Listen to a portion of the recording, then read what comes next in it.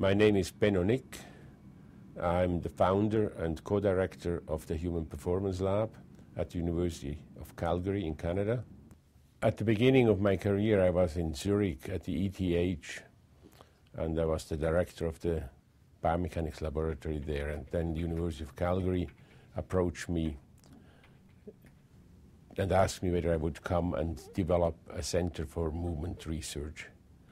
The vision that the university leadership had at that time, that they said we want to be strong in that area of human movement sciences.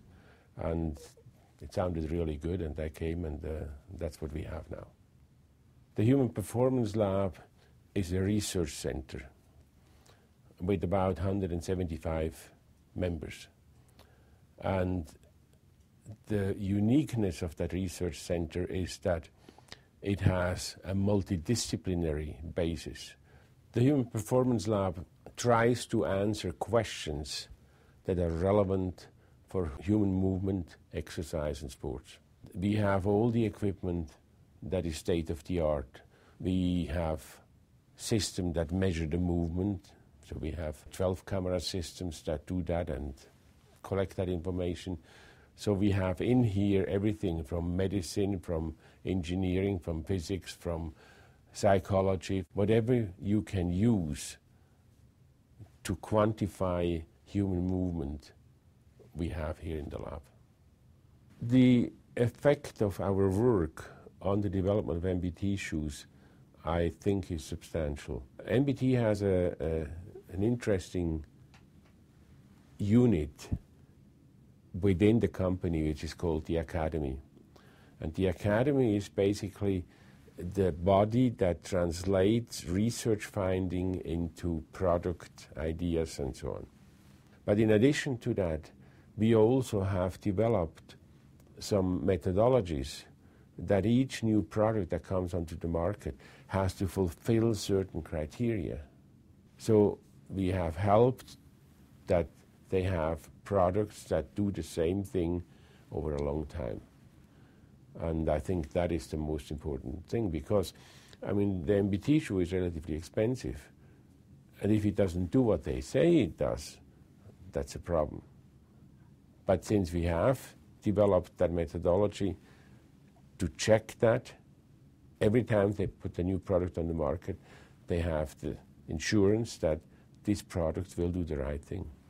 3D gait analysis is a method that allows us to quantify the kinematics or the movement of the human body. When you look at a product like the MBT, you want to understand how this MBT changes the movement.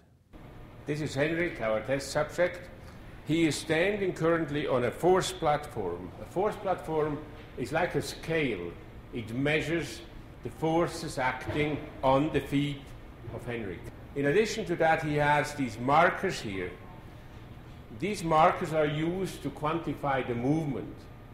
So if he moves an arm a little bit, then these markers move, and we can quantify that and we can then determine what the effect of these shoes is with respect to the movement of the body.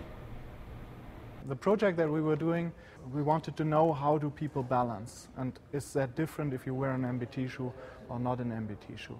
So what we did was we used standard motion uh, tracking systems where we can uh, determine the, the motion and the posture of our subjects um, as, as they move. We then used a mathematical method to decompose that movement into different types of movements.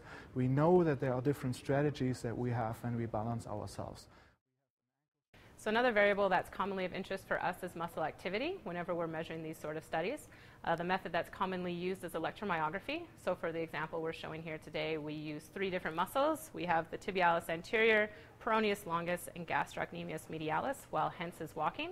From here, you can see the bursts of activity in the muscle as he walks, showing you that that muscle is active during that part of the gait of stance.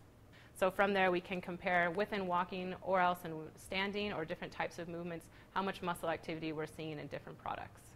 The data analysis is one of the important things why people come to us because We have developed methods that are state of the art in the world. We are the leaders in that part of, of research.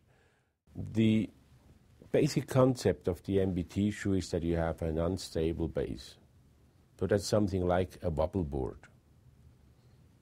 You stand on your shoes and it's unstable. And because it's unstable, you have to adjust your muscle activity to stabilize yourself. And because you do that, you do more work and you train the muscles. The trend in the footwear industry is to provide support. The unstable footwear takes that support away and makes you work with those muscles. That means you use instability to have a training device. And the training device is the shoe. I think that everybody that is interested in movement, everybody that doesn't move enough, should use MBT shoes.